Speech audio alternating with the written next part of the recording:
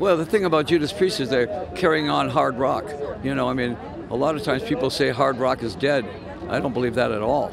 I think there's a ton of young bands out there learning Judas Priest, Alice Cooper, Guns N' Roses songs, and yeah, it's not dead at all. It's hard rock will never die.